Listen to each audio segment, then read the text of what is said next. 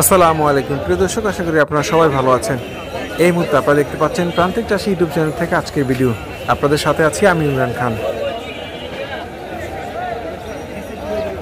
প্রিয় দর্শক, ঠিক এই মুহূর্তে আমি আছি রাজধানী কারণ বাজারে আপনারা জানেন, বাংলাদেশের বৃহত্তম সবজির পাইকারি আড়ত রাজধানী কারণ বাজার দর্শক, আমি আপনাদেরকে আজকে একটা বিষয় একটু জানা রাখছি। আপনারা যদি রাজধানী কারণ বাজারে আসেন, তাহলে এখানে এমন কোনো সবজি নেই যে আপনারা পাবেন না। সিজন আনসিজন থেকে শুরু করে সকল ধরনের সকল আইটেমের সবজি আপনারা এখানে পেয়ে যাবেন। তবে আমি আজকে আপনাদেরকে গ্রীষ্মকালীন দুটি সবজি বর্তমান বাজারের পরিস্থিতি সেটাই দেখানোর চেষ্টা করব। দর্শক আপনারা আমার সঙ্গেই থাকুন। দর্শক এই মুহূর্তে আপনারা দেখতে পাচ্ছেন গ্রীষ্মকালের কুমড়া। দর্শক আপনারা সবাই জানেন শীতকালের কুমড়ার থেকে গ্রীষ্মকালের কুমড়ার অনেক দাম। এবং বাজারে রয়েছে প্রচুর পরিমাণে চাহিদা। এ কুমড়ার গুণগত মান এবং স্বাদের দিক থেকে শীতকালীন সবজির থেকে মানে হচ্ছে শীতকালীন কুমড়ার থেকে গ্রীষ্মকালীন কুমড়ার স্বাদ এবং গুণগত মান অনেক ভালো। দর্শক, একটা বিষয় আপনাদেরকে একটু জানা রাখছি এই জাতের কুমড়ো মানে হচ্ছে গ্রীষ্মকালীন কুমড়ো সব থেকে বেশি উৎপাদন হয় উত্তর অঞ্চলে। উত্তর অঞ্চলে কুমড়ো উৎপাদনের জন্য অনেক জনপ্রিয়। বিশেষ করে বাংলাদেশের ম্যাক্সিমাম সবজি উৎপাদন হয় উত্তর অঞ্চলে। উত্তর অঞ্চলে সবজি উৎপাদনের জন্য খুবই ভালো একটি জায়গা। দর্শক, একটা বিষয় আপনাদেরকে একটু ক্লিয়ার করে দিচ্ছি। বাংলাদেশের দক্ষিণ অঞ্চলের থেকে তুলনামূলকভাবে উত্তর অঞ্চলে সবজির উৎপাদন অনেক ভালো হয়। দর্শক, এই বিষয়টি হয়তো বা অনেকেই জানতেন না। বিষয়টি আজকে আপনাদেরকে জানিয়ে দিলাম।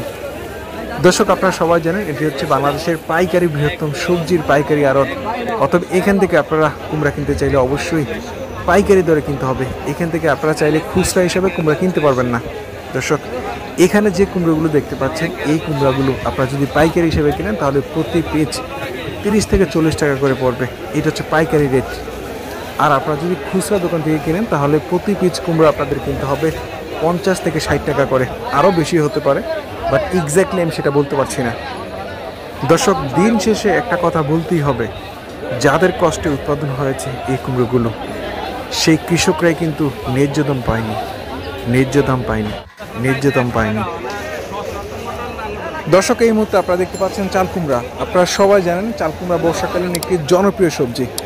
বর্ষাকালে আসলেই যে কোনো সবজির হাটে আপনারা চাল কুমড়া পেয়ে যাবেন। ঠিক এই মুহূর্তে আপনারা যেমনটা দেখতে পাচ্ছেন, বাংলাদেশের সব থেকে বড় কাঁচা বাজারের সবজির হাট। রাজধানী কারণ বাজারে চালকুমড়ার বিশাল একটি ভুর দেখতে পাচ্ছেন। এখান থেকে আপনারা চাইলে আপনাদের পছন্দ মতো চাল কুমড়া বেছে কিনতে পারবেন। তবে এখানে নির্দিষ্ট একটা পরিমাণ হিসেব করে কিনতে হবে। আপনারা চাইলে এখান থেকে আপনাদের প্রয়োজন মতো অথবা খুচরাভাবে চাল কুমড়া কিনতে পারবেন না।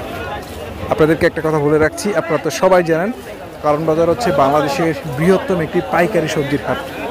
এখান থেকে আপনারা যে সবজিগুলো কিনবেন, অবশ্যই পাইকারি হিসাবে সবজি কিনতে হবে। তবে এখানে অনেক ছোট পরিসর অনেক দোকান আছে, সেখান থেকে আপনারা চাইলে খুচরা হিসেবে কিনতে পারেন। তবে খুচরা হিসেবে কিনতে গেলে আপনাদের দামটা একটু বেশি পড়বে। আর আপনারা যদি পাইকারি হিসাবে কিনতে চান, তাহলে অবশ্যই আপনাদের দামটা একটু কম হবে। বাংলাদেশের যত খুচরা ব্যবসায়ী আছে, সবাই এখান থেকে সবজি কিনে নিয়ে খুচরা হিসাবে বিক্রি করে। দর্শক, সারা বাংলাদেশের যত সবজি উৎপাদন হয়, সব সবজি এই কারণ বাজারে আসে।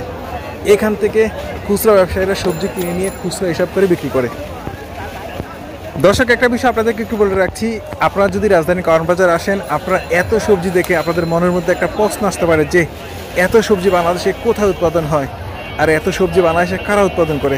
দর্শক, এই সবজিগুলো অবশ্যই উৎপাদন করে বাংলাদেশের যেসব কৃষকরা আছে তারা। আপনারা জানেন, বাংলাদেশের বিভিন্ন জেলায়, বিভিন্ন জায়গায় ভালো ভালো সবজি চাষ হয়। দর্শক, আপনারা সবাই জানেন বাংলাদেশের গরিব মানুষগুলো এই সব থেকে বেশি কৃষিকাজ করে।